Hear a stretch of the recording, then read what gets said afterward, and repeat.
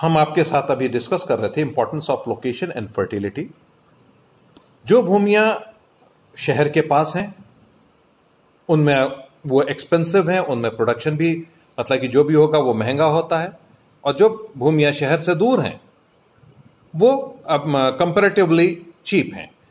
तो इस तरह की जो भूमियाँ, जो कि जिनकी स्थिति के ऊपर निर्भर करती हैं, वो जैसे अभी आपको बताया, शहरों के निकट का मूल्य अधिक होता है और शहरों से दूर स्थिति का मूल्य कम होता है उसी तरह से भूमि अगर उर्वरक है, उपजाऊ है, और उस तरीके से तो भी वो एक्सपेंसिव होगी, और अगर जो खेती योग्य भूमि है, वो अच्छी मिलेगी, और जो खेती योग्य भूमि नहीं है, वो थोड़ी सी बंजर भूमि, वो आपको सस्ती मिलेगी। इसी तरह का से जलवायु भी है, और आपकी वर्षा आदि के ऊपर भी निर्भर करता है कि हमारी भूमि उर्वरक है, कैसी जलवायु में पाई जाती है, उसकी वर्षा की स्टेटस क्या है, उसके आसपास का शहर का स्टेटस क्या है, उस हिसाब से भूमि की कॉस्ट बढ़ती और भूमि की कॉस्ट घटती है और यही हमारा एक कैरेक्टरिस्टिक्स ऑफ़ लैंड में आता है कि हमारे पास जब कभी भी होगा तो इंपॉर्टेंस ऑफ़ लोकेशन और फर्टिलिटी इंपॉर्टेंट होती है।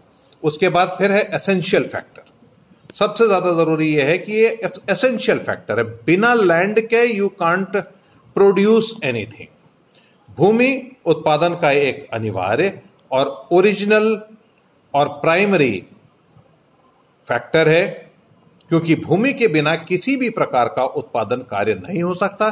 चाहे वो आप कृषि करें, चाहे आप उद्योग धंधा करें, चाहे व्यापार करें, चाहे आप परिवहन कर आदि के कोई भी कार्य को करने के लिए भूमि की आवश्यकता होती है।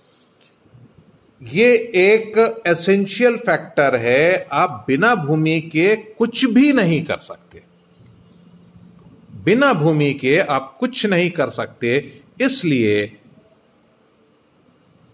ये हम, हमारे लिए किसी भी प्रोडक्शन को करने के लिए भूमि अनिवार्य है।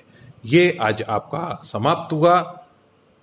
कैरेक्टरिस्टिक्स ऑफ़ लैंड कल हम आपको बताएँगे इंपॉर्टेंस ऑफ़ लैंड